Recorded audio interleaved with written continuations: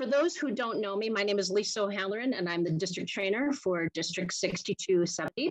And I'm delighted that you're all here tonight to talk about club programs. We want our members to find long-term value in their relationships with Rotary. People join Rotary for a variety of reasons. Some are looking for leadership opportunities, other hope to make new connections and expand their networks um, while others really want to support and give back to their communities. We know club meetings are the glue that holds clubs together and enables them to do the good work of Rotary.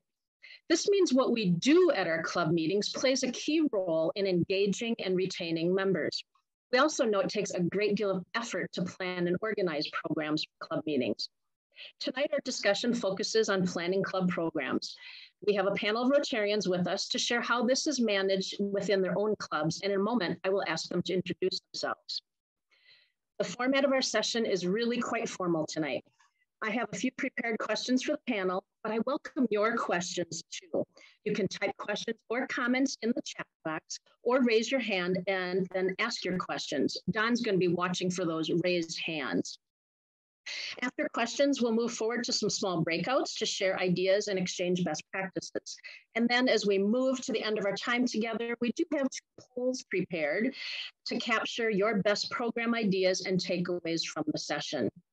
The results of those polls will be emailed to everyone who registered along with a link to the session recording that will be uploaded to the district's YouTube channel. So let's get started. And I know we have one panelist who's going to be joining us a little bit late, but we have two in the room to get us started. Uh, to maybe tell us a little bit about yourself and your club. And our take on our first question, tell us why you think programs in our clubs are so important.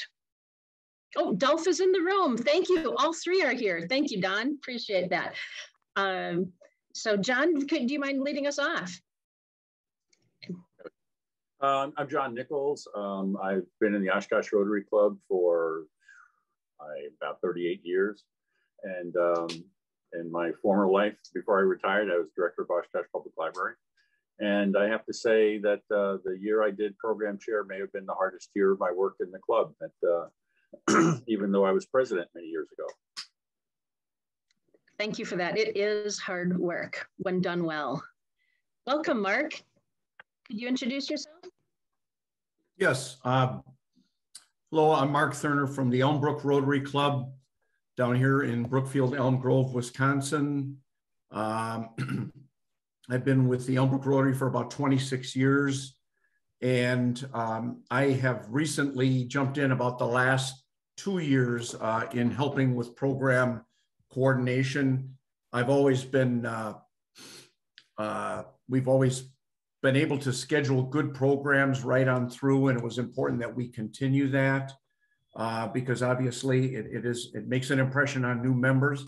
I also happen to be the co-chair of the membership committee for the last 20 years, so I understand the connection between the two. Um, so I look forward to uh, some good discussion. Wonderful, thank you. It certainly does make an impression on new members. And Dolph is here. Could you introduce yourself? Tell us a little bit about you. Yeah, uh, Dolph DeKooster. I'm uh, currently the president of the West Bend Sunrise Rotary um, and uh, was asked to come talk a little bit about how our programming works and how we structure it. And ironically, I think my all of my experience with Rotary, um, both of my clubs I've been in, I think do their programming the same. So to me, it's not that unique. It's kind of like, hey, this is how we do things. Um, and it works really well for us. So looking forward to sharing that. Wonderful. Wonderful. Thank you. So welcome and thank you all for sharing so generously with your time this evening. Uh, let's get started. So what do you guys think makes a good club program? What, what, what criteria do you use or how do you think about what is, is going to make for an engaging program? And any of you can jump in. I would start with um, uh, typically we get certain programs that are from uh, that are coincidentally nonprofits that are looking for some support in some way, shape, or form, uh, whether it be hands-on or whether it be monetary. Um, and the, those programs are valuable because it educates us on uh, what's a, a, particular organization or program that's within our community that we may not be as familiar with. And typically those uh, people that come in and speak are very engaging and are very interested in presenting a good program for obvious reasons. So uh, typically we get a really good response on all of those types from our members. Wonderful. Nonprofits are key and they, they can become some really wonderful partners for us. I will also, um, before we go to the other two panelists, invite those in the audience. Feel free to add to the chat. What do you think makes a good program? Feel free to share that there as well. Uh, Dolph or John, anything you'd like to add on that question? What do you think makes a good club program? I, I guess in our, I, my, my experience was at, at the time that we, we had a pretty wide variety of programs and a fair number of them of real topical interest. Um, you know, if that's something was going on at the time. A, a good example of that, I, I, should mention that when I did the program chairmanship, um, it was in the middle of the pandemic, and we transitioned in that year from all Zoom meetings to hybrid meetings. Mm-hmm. So there was an awful lot of technology upheaval and change going on. And fortunately, Don Griffing was working uh, with, with, with me at the time to handle coordinating a lot of that but it had it had its downside and its upside.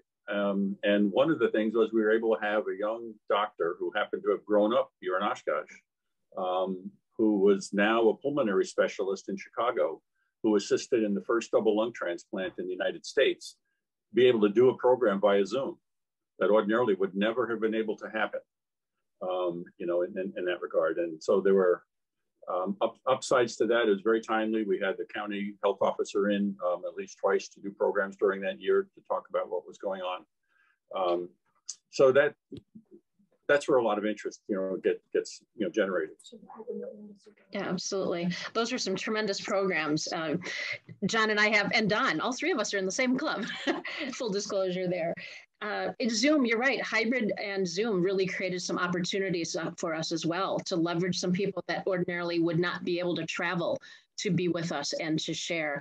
And that's something I think is important that we not lose sight of going forward that we can still leverage that whether it's it's a speaker like you had in or an ex, a previous exchange student checking in and presenting right lots of opportunities there Dolph, from your perspective what do you think makes a good uh, program uh,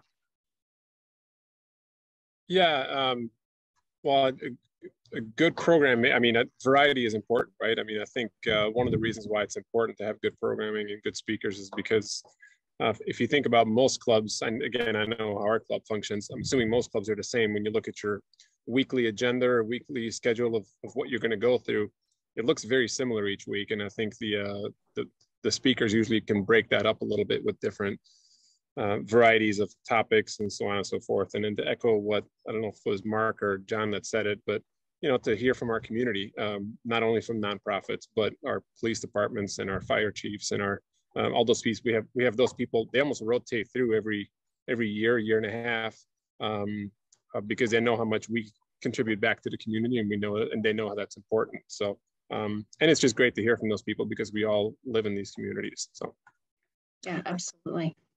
Thank you. John, did you have something to add? No, no, that was that was good. Good, great. So how do you communicate with your speakers? Do you communicate expectations? What, what does that process look like between your club and your presenters? So I'll take that first. Uh, and, and Lisa, Lisa, if you're okay with me sharing kind of how our program works, I don't know how unique it is, but um, we don't necessarily have a program chair um, like some other clubs do um, we have all of our speakers uh, invited by our club members. So all of our club members on a rotating basis are on a schedule uh, to be a speaker host a certain day, and that's going to help with our programming for that day. Uh, and again, both the Fond du Lac Morning Club and the Sunrise Club in West Bend that I've been part of both do it the same way. So we do have one person that's in charge of getting that list out and making sure that there's people scheduled. Um, but they're essentially just filling in the spots our actual members are in charge of, of finding all these speakers. Um, so, so, and your original question, I wanted to fill that in real quick. Tell, tell me what your original question was again, Lisa. How do you communicate with your oh, speakers? Yeah, so, so we we normally put our our hosts in charge of communicating with them what the expectations are, when they should show up, what time, how our meetings are run, what what the expectations are in terms of timeline, um, what they talk about, what we prefer they don't talk about, because although 401 uh, or 501c3s will come in and, and talk about support for their organizations, they're not always coming in to ask for a specific donation. They're just telling us about what their nonprofit's all about. So if and when there's ever a gift that comes across our board's doorstep, we know who they are, what they're all about, and what they've had going on. So, mm-hmm. but but it's all communicated group at least um, with the uh, with the members that are being the host for that week. Wonderful. And I think after this question, Dolph, we'll dig into that a little bit more in terms of how that works for you. Um, so you, I think you have somewhat of a unique approach. Um, John, John and Mark, how do you communicate expectations and, and coordination with your speakers? I basically did that through um, emails early on with each speaker that that I, I did as program chair. Um, and sometimes things might change a little bit depending on who the speaker was. Um, you know, on, on occasion, as we all know, we get um, speakers who are political um, running for office or something like that and try to alert them to the fact that, you know, we, we are a nonpartisan organization and um, try to keep that in mind as, as much as possible when they're talking. But otherwise, it's it, it, it's pretty much routine. It, it, would just be a case of you know how long is how long do you have for speaking? Um, are there any particular um, things they needed assistance with at, at the program? Um, you know things like that. Mm-hmm. It is much easier to alert them in advance, right? Than than when they're when they've got the microphone in their hand, it makes it much harder. Mark, I'm seeing some nods. Anything to add there? Well, uh, um, we kind of funnel the the uh, communication through this, the the two of us that do the speaker coordination, which is the other one is Thomas, uh, and he uh, uh, about six months into it maybe about two years ago, uh, we developed, we, we just developed a template that we can personalize that has all that information in it. And um, if there, we just, uh, we might personalize it a little bit to the person as well as if there might be something going on like uh, a change in the in the available time based on an induction of a new member or something like that. But the template covers all those things and then also alerts them about, you know, um, the technical support that we can provide, how they might, you know, if they're doing an in-person speaker uh, pr program, uh, what they should bring or how we can uh, ask them how we might be able to support them, gives them three different options of how we can support their presentation and the same on the Zoom side, because we are still running hybrid meetings as well. Wonderful. Would it be possible for you to share that template? Absolutely. Thank you. Thanks, Mark. If you, I don't know how, if you can locate it quickly, you're welcome to share it in the chat. Otherwise, if you'd like to email it to me, I can ensure it goes out to everyone with the follow-up communication after the meeting next week. Okay. Okay, wonderful. And thanks for that, for that question. Um, let's move next into, and, and we've we've dabbled on this a little bit because we talked about nonprofits looking for support, but talk about your approach to creating the schedule, right? How do you balance nonprofits and, and government and industry and club business and Rotary initiatives? Um, it, does anyone have sort of a formula or an approach that you use to ensure, you know, you don't have three consecutive weeks are know, so similar in nature, that type of thing. How do you make sure you have that variety and that representation? I guess I would, in, in, in, our case, I would I would try to be scheduled, you know, close to three months out. Number one, but number two, my my best suggestions are robbing programs from others. Um, and um, in, in Oshkosh at the university, we have a very active learning and retirement chapter. And I basically looked at their schedules of programs and looked through those programs to see if I found the programs and program presenters who I thought would be do a really good job with a shorter program, since they typically were an hour long, um, you know, at our club. And did the same kind of thing at the senior center and other places to see, you know, who's inviting who, as well as scanning the newspapers. Um, you know, looking at the Oshkosh Herald and the Oshkosh Northwestern to see what's happening uh, we, we have a, really good paper, the Oshkosh Examiner, where they do very good investigative reporting looking at local government, sometimes at issues not everybody's picking up on. So using those kinds of resources, I would really try to get speakers slotted in um, in, in, a variety of ways, while, while trying to pay attention to keeping a slot or two open for something that just comes up that you really want to have room for. Nice. So remaining a little flexible so you can respond to those timely, timely things. Question from the chat uh, from John Henderson. How often do you have Rotary information programs? So how did that factor in? You know, more of a Rotary specific an initiative or project or that type of thing. Thoughts on that? Was that a conscious piece or not so much? In our case, the club president usually asked me to set aside a date in a, ahead that she would want to use or have available for something. So okay. Potentially once every month or two, there'd be a date set aside for for that type of thing. Um, personally, think it would be a good idea at least once or twice, um, once or once every month or two, to, and that's where I think the Zoom came in handy. Um, I have to commend Don Griffin, who is well connected in Rotary, um, who had speakers that came from I think Washington State, from Arizona, uh, from other places and other districts in, in the country to do presentations for us via Zoom. And I think those were great. Wonderful. Thanks, John. Um, and Don has a follow-up. Because um, because I, I want to actually kind of a clarification from John. Um, are you talking about club specific Rotary information or are you talking about big R Rotary, uh, foundation, fellowships, rags, uh, can you clarify that a little bit more, John? In our case, that I think club president was looking for president's choice meetings, um, you know, rather than big R Rotary. But during our time, Don, I think what we were able to do is have some of those outside Rotary speakers come in and do presentations about things that were going on in, in their aspect of Rotary um, that were really very good. And, and, I think all clubs could do a better job of um, trying to do more of that and more systematically, and probably more districts and and uh, the you know, U.S. Rotary could do a better job of feeding us some of those that they would like to have scheduled in from time to time. And John, uh, mm-hmm. you want to clarify your question a little bit more too, please? Yeah, I, I think it's all of the above. I think we need to uh, uh, do things for the club to let you know, let people know what's going on within the club, get the members to know each other, whatever that may be. But also, uh, you don't want to lose sight of having them understand the bigger picture of Rotary. And also, you know, I know our new president, incoming president, wants to do uh, more about uh, making the learning center more uh, now, make our members more knowledgeable about the learning center so they can use it.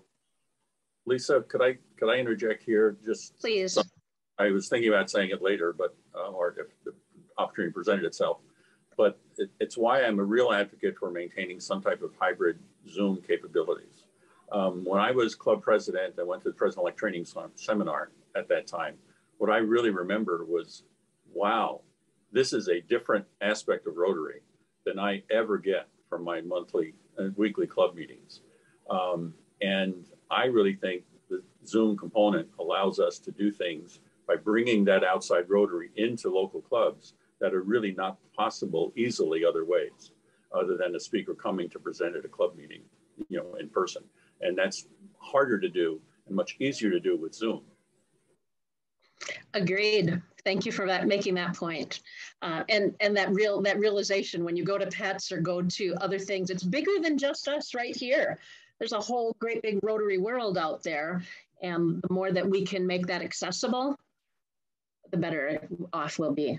So, so thank you for adding that and thank you for the questions. Um, anything else from the chat at this point, Don? You can't hear my head rattle. No.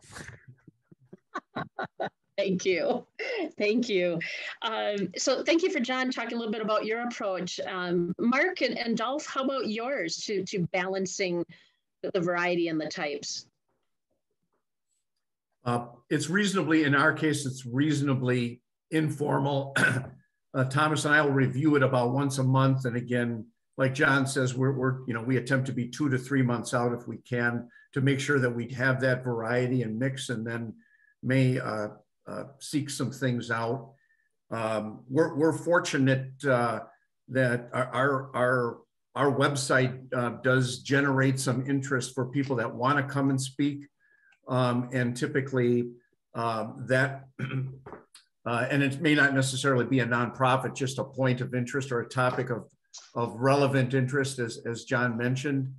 Um, and um, I would concur about uh, the Zoom opportunity. I mean, this this this came to light as we we uh, had a program um, with a a district governor and current club president, two different people from the Ukraine, that was made through a connection of one of our members that was a, a former uh, military chaplain, um, and that was. Um, to have the Ukrainians on with us uh, while they're in the middle of uh, uh, what's going on um, was really emotional for our members and created a connection that you know wasn't possible live wouldn't have ever been possible so um, uh, and that goes back to um, the point also made about being ready to slide in some of those impromptu because that one had to be uh, kind of uh, made room for as a higher priority program and we were able to move some things around. Um, and so um, we're not having a slot open that's only, that's only three weeks out doesn't bother us because we know we'll either be able to fill it or we'll have some kind of president, you know, re request from our club president and the like, or something like that Ukraine opportunity come up that we wouldn't have known about a week ago. Mm -hmm. And there's those those learning center opportunities as well, right? You can pull content. You could on the fly do a, a big R, as I think Don said, a, a, big rotary type topic could be pulled in too that you facilitate locally. Could be another option too.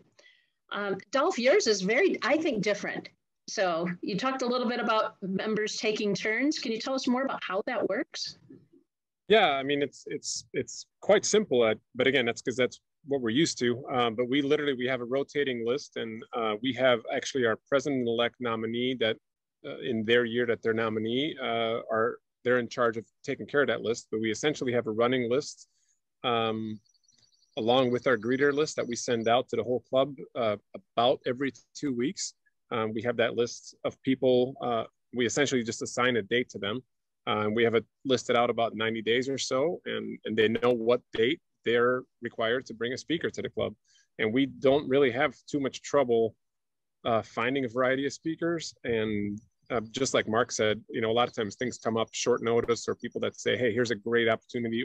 Or our, we have a new club in town and they'll often say, hey, we had so-and-so come talk to our club. You guys should invite them. Um, and we have a mix of nonprofits and local businesses and more unique things. And, and if we have a few weeks in a row where we feel like, oh, we've got a few nonprofits that are coming to talk to us.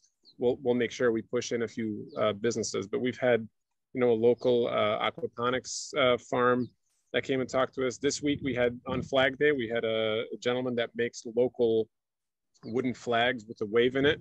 He makes them um, and kind of got it off the ground three years ago. It was really cool for him to come show how he makes those and how he's been able to market those. And they're all custom made things. Next week we have a guy that used to be in radio that's coming to talk to our club about um, the, a podcast that he started to kind of create positivity in the environment and it's all washington county based uh, things that he interviews every week so we really and again, again i'm not trying to sound conceited we just don't have any trouble finding good content and people that want to come talk to our club because that that word kind of spreads we try to get it out on social media when we can um, and I think we have a, a good amount. I, I, think the size of the club matters too, by the way. I think if you have a, a, a club with 12 people, it's very hard for everybody to continue to find people. Uh, and the size town that you're in probably is going to make a difference too. But again, we have about 55 members right now.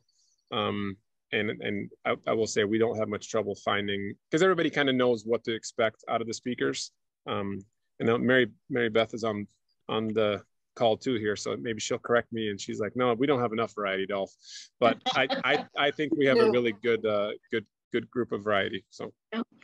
And I think I think you make a good point there too. With 55 members, this is not a huge task you're asking of the members. It means once a year right basically right, right?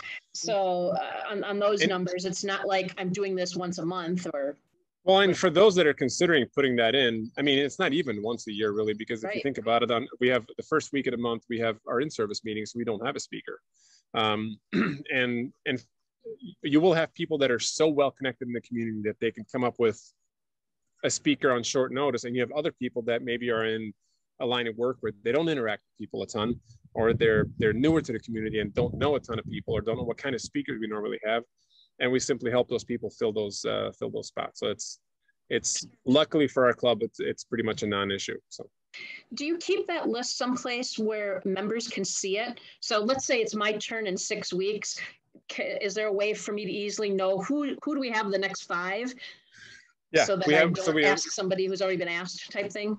We have a few attachments that go out with every one of those emails that gets sent out every two weeks, um, and uh, and that we have a list of suggested ideas. And again, I think we have Perfect. three literally in the last week or so that I've sent to the people that manage that list for us right now. I think I've we have three ideas that came to the table of people that want to come speak to our clubs, and some of them are. One of them, for example, is the Albrecht Free Clinic, which is a it is a local nonprofit, but we've supported them as long as 15 years ago with small and big gifts, and they have a lot of things changing in their world and how they're approaching their and and ironically, the person that runs it is actually she's actually a Rotarian herself in uh, uh, Grafton, maybe I think Ruth Henkel. But anyway, so Ruth reached out to me and said, "Hey, I'd love to come give your club an update on what's going on." And of course, we're going to welcome them with open arms and, and hear what they have to say. So. Absolutely. Thank you. So it's Mark, you work with Thomas, you're a team of two. And, and Dolph, it sounds like in your club, it's the, the PEN who's in charge of the list and, and keeping that rolling. Right. Um, John, if- did I miss, or did you do that pretty much solo or did you have a committee that you worked with? It was solo. Uh, Solo. I did recruit Sue Ponick to help some, and Mhm. uh, she was our uh, kind of marketing coordinator at the time. So Sue was, you know, and and basically the other thing is to periodically invite club members to suggest ideas or to bring things to your attention, and, and try to keep doing that through the newsletter and other things. Um, but um, it, you know, it, it and that maybe is why I thought that that's intriguing to think about having the club members do it themselves, and, and uh, you know that that idea ought to be shared more widely um, for club presidents to think about. And it creates, yeah, and it creates engagements with other members too. Right? Exactly. I love that. I think I, I have one more question, and then I want folks in the audience, if you have questions, um, feel free to add them. Um, but I have one more question here, a little bit about how do you promote programs to your members and how do you share stories? Like what kind of PR are you doing around your programs? The, the two things that I would mention is given that that was a pandemic and a transition year from from all Zoom to hybrid meetings, uh, working with Don, uh, again to Don's credit, um, he encouraged us and helped set up using Club Runner. Um, and we were using the events planner and Club Runner to basically set up all the programs. And I would feed the information in as soon as we started getting something scheduled. And then he had it set it up for automatic email coming out to club members about what was coming up, what program is coming up, and when is it coming up, um, up to and including, I think, the, the, you know the last weekend right before the Monday meeting. Um, so that worked, I think, very well. It, it took some time to get it set up, but it's there as a tool for everyone to use and everybody knows what programs are coming up. Um, and Sue, our marketing coordinator, did a very good job of not only doing the communication to the media from time to depending on what the program was, uh, but like in the case of um, the pulmonary specialist, invited the nursing school at UWO um, to have any of their students, and and to, to, and at that time they could come in on Zoom, and they did, um, as well as the head of the nursing program. So Sue was very good at thinking about who's the program and are there some people who would be interested in this that we want to get in and invite in, you know, to join us as a club? Absolutely. We're extending Rotary into the community in a different way, doing that, connecting them with content that's meaningful to them. Mark and Dolph, any comments from, from your perspective on promotion? In our case, it's very similar to what John described. Um, and in our Zoom, uh, our, our automated Zoom communication, um, we have a, a word about the speaker that's coming up for this particular week and what's behind that organization. Some, you know, maybe three sentences uh, to, if the members are looking at that, you know, uh, do I want to be, I, I really want to be a part of seeing that, et cetera. And then we have a similar uh, working relationship with our public relations committee on getting things out uh, to media, or if it's something to do with the schools or something along those lines where we're um, we're inviting uh, outside guests to come in to be a part of, of seeing what's going on there. Mhm. Great, thank you. Dolph, anything from your end? Well, we don't we don't really do the hybrid meetings anymore. Uh, we haven't for quite some some time, so that part uh, isn't something we can we do necessarily, but we do, you know, from a PR standpoint, we do post on uh, on social media when we can, when speakers were there, what they were doing, and that's that's more a promotional thing for the club, I think, too, to kind of show people what we're doing and why it's interesting to be part of the club, uh, in addition to the, the more obvious reasons. So, And is that Um, more of a, a recap than a preview? yeah, it it probably doesn't even have more. Yeah, we don't do much of a preview because I mean we we do actually um, we do have the list of speakers listed on our website, Mhm. but I'm not sure how many people are utilizing that list. I I don't I can't imagine it's a lot, but I don't know. Thank you. Um, well, th- thank you all. I, I think now uh, Don tells me that he is is ready. We're going to give you all some time to chat uh, in small groups. We have three breakout groups set up. Each of the panelists will be in one of the three. Uh, but really, this is a time for you to connect and share ideas. Did you hear something that you want to know more about, or do you have an idea to share?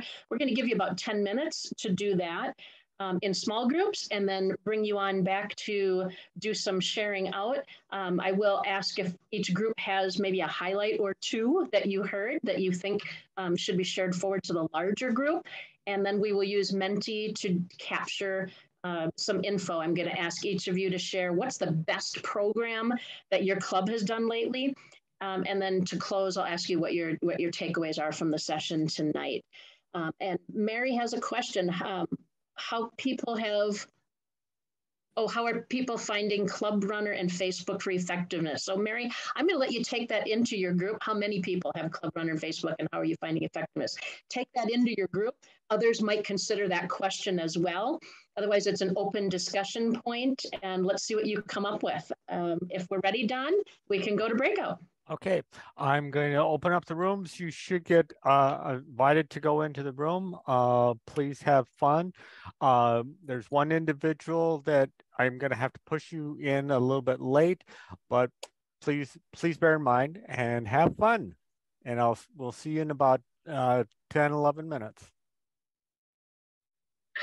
Thank you, Don. Welcome back, everyone.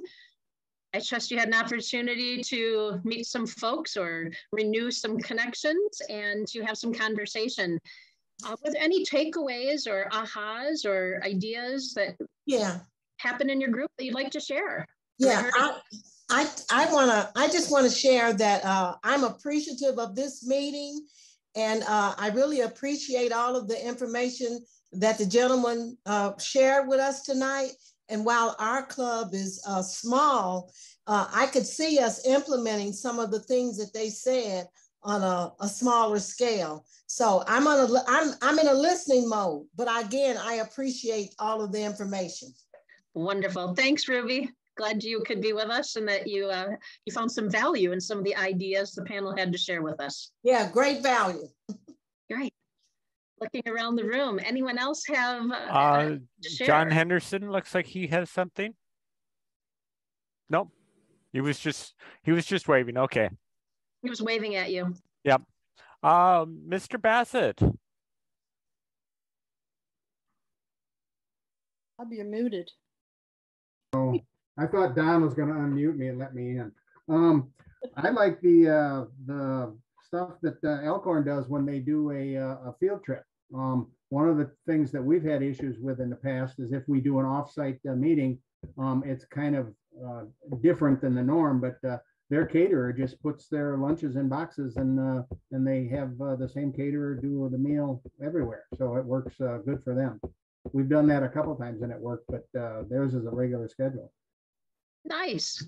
So working with your your food service provider at your location and putting something together for you. That sounds great. Yeah, I just want to say I want to say something really quick. I I I was a little surprised with this nice weather we're finally having. We wait all year for this. I'm the only one sitting outside. The only other person with an outside background is Rob. And Rob, you have winter behind you right now? I don't even know what's going on. It's 90, 95 degrees at my house and uh, this is the only way I can be comfortable. I've had it for the, the last two days on my uh, backdrop because it's been so warm. I got, uh, I got heat exhaustion getting the mail today. I agree. Rob, your your background made me feel a little cooler. It was very refreshing. Thank you. So Mary Beth, did I see your hand?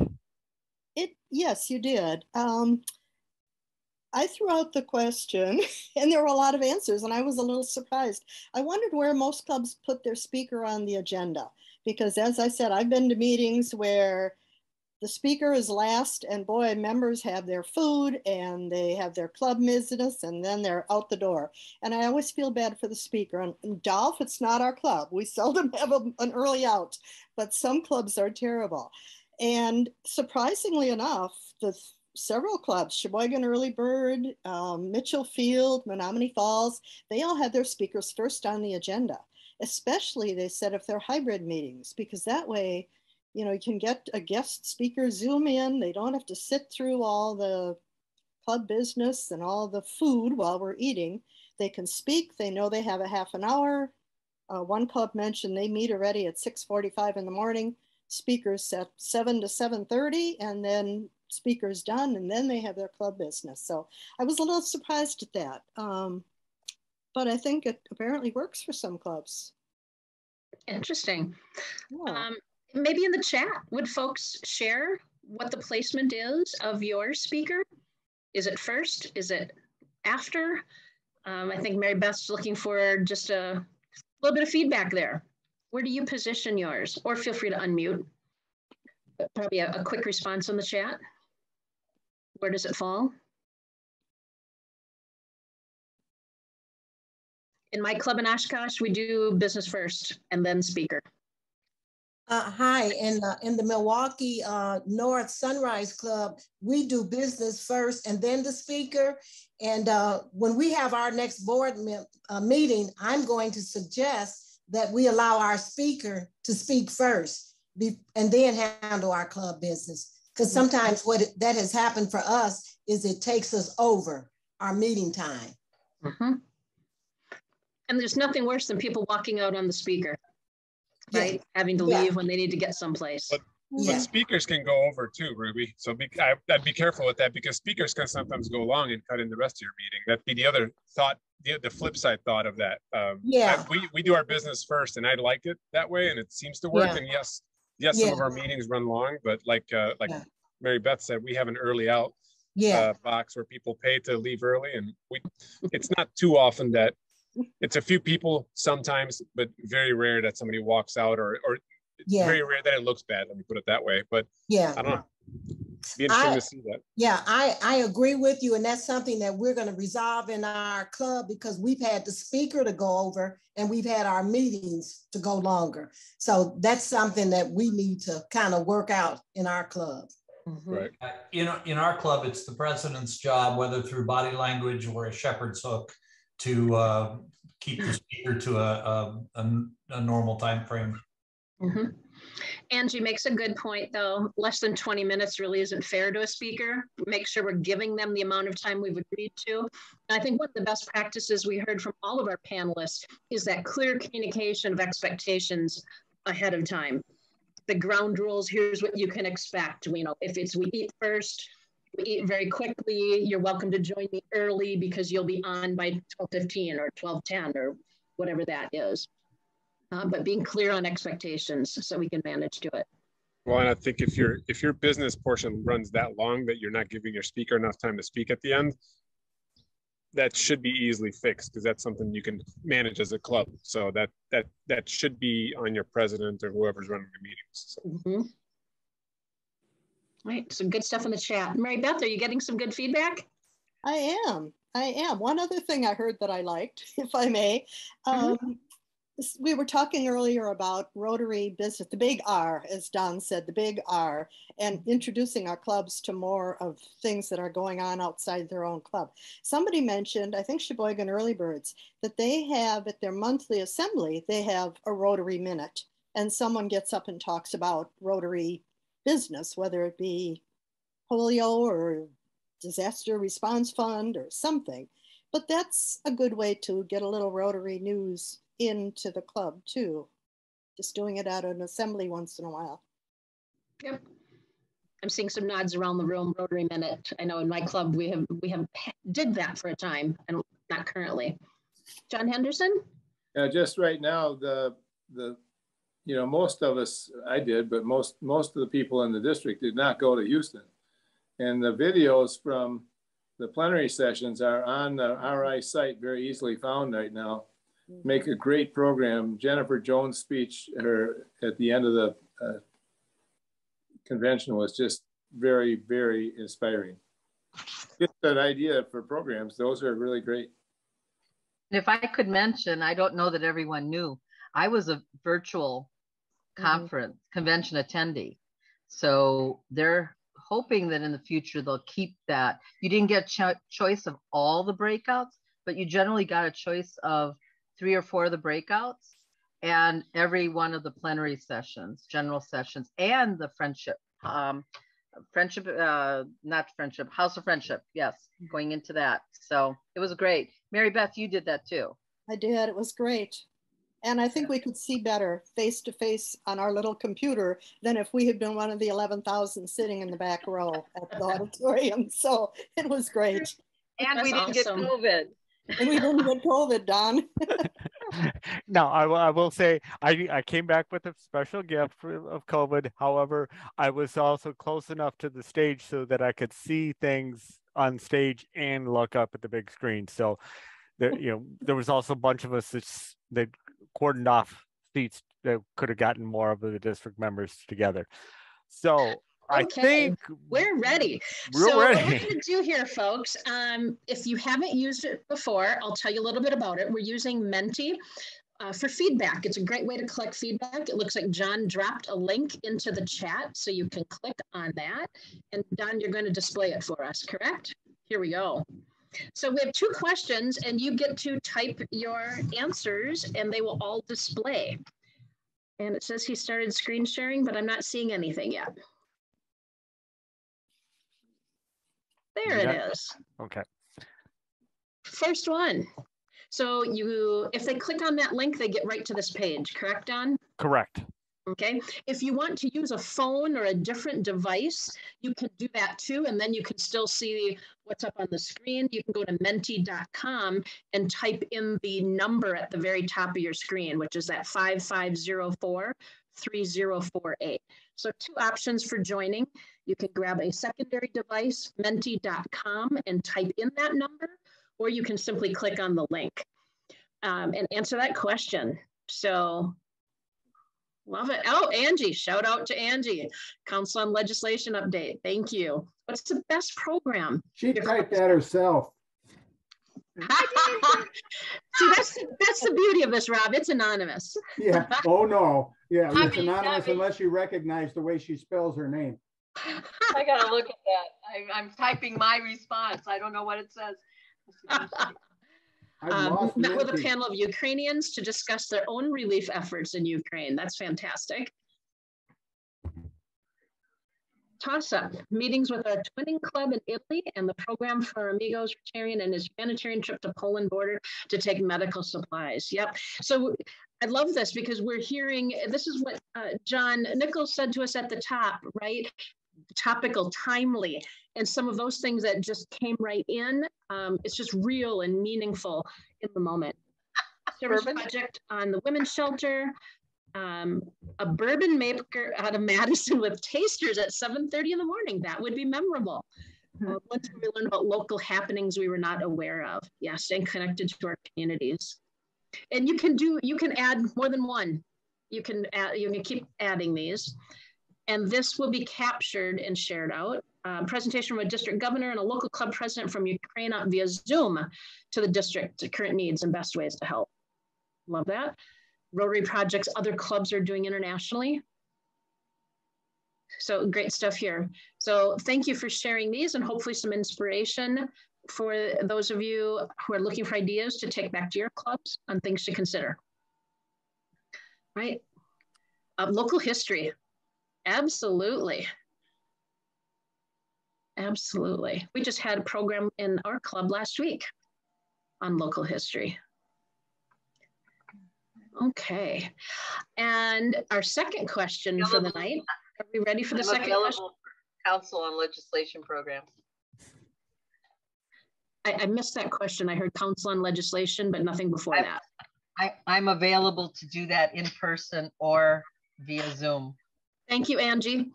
there you go. Another program idea to add to your schedule. Um, this one is a little bit more of a reflection on the session tonight. Any key takeaways? Any aha moments? Is there a go and do that you might have identified or something you want to share back with your club? But what is your takeaway from tonight's session?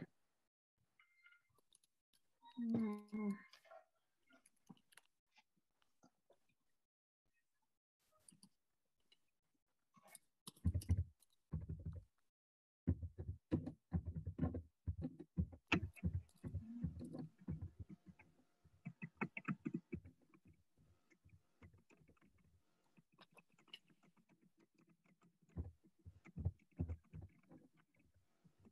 Yes, reminders, right? There's there's multiple ways to do things. Absolutely. It's not a one one size fits all. Finding what works in your club. I love Dolph's confidence though with having them do that. Return to healthy competition of members getting programs on assigned days. I like that. Uh, we're going to ask a local, local bourbon maker. I'm liking that. Yep, absolutely. No right answer. Do what works for your club, steal programs, and visit other clubs. And that's a great comment. Thank you for whoever shared that. It's great to go visit other clubs and see how they do things. Have a program on getting members more familiar with the Learning Center. Absolutely. For those who haven't checked it in a few years, the Learning Center is really rich and robust. There's some great programming there uh, on topics all sorts of professional development type things from managing change to DEI, um, just a variety of different things that you could be doing. Field trips once in a while, right? Get us out of our, our comfort zone. Uh, the Oshkosh Club just visited the sheriff's office. And I don't. I think everybody walked out of the jail cells as well as walked in. So, I think it was a good. Uh, it was a win. That's always it. a plus. Awesome. Well, I think that's a wrap on it for us. And we are at, oh, 701. So I am going to say another big thank you to our panelists for joining us tonight and sharing. Mark, John, and Dolph, thanks for sharing and everyone for your great questions. Um, and as Mary says, inspiring to see and share with all of you. I think that's the perfect way to close tonight. I absolutely agree. Thanks for taking the time. Thanks for everything that you all do for Rotary and have Thank a wonderful evening. Very nice. Thank you. Thank you.